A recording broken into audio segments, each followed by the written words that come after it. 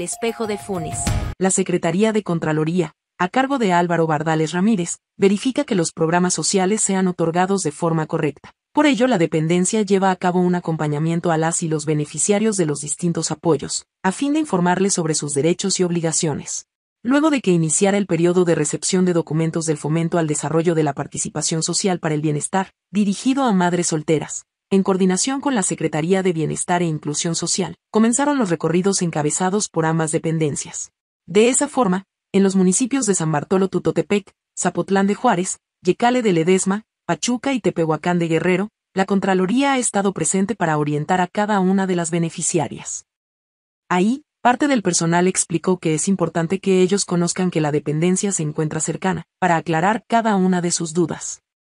Cabe recordar que los apoyos económicos por concepto de dicho programa son de 2.200 pesos bimestrales.